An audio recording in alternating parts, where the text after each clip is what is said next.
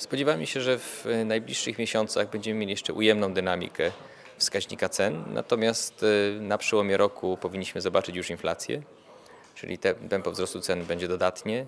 Myślę, że stopniowo będą rosły ceny wszystkich towarów i usług, natomiast w największym stopniu no, ceny usług to jest ta grupa koszyka, gdzie dynamika cen jest cały czas dodatnia.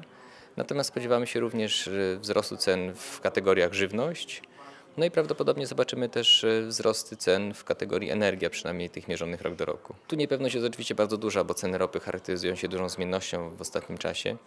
Mieliśmy ostatnio właśnie 4 miesiące nieustającego wzrostu cen ropy, natomiast po- te wzrosty wyhamowały i spowodowały wzrost wydobycia ropy w gospodarce amerykańskiej, co wskazuje, że prawdopodobnie znaleźliśmy się na tym poziomie, na którym ponownie wydobycie ropy staje się opłacalne, a to oznacza, że będziemy mieli większą podaż ropy i prawdopodobnie ceny mogą być niższe, a przynajmniej nie powinny jakoś drastycznie już rosnąć.